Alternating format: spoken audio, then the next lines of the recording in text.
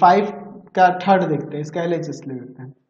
दिया हुआ है एक्स का पावर ए बाई में एक्स का पावर बी का power A square plus A B plus B square into B का पावर एक्स का पावर बी बाई एक्स का पावर सी का पावर बी स्क्वायर प्लस का B C plus C square into X का power C by x का power ए का power C square plus C A plus का ए square तो यहाँ पे आप लिख सकते हैं पावर डिवाइड में तो पावर सब्ट्रैक्ट हो जाएगा, यानी हो जाएगा एक्स का पावर ए माइनस बी अच्छा और इंटू में ये आपका दिया हुआ है ए स्क्वायर प्लस का ए बी प्लस का बी स्क्वायर फिर यहाँ पर देखिए एक्स का power B minus C into में B square plus B C plus C square divide में पावर सब कर रहे हैं।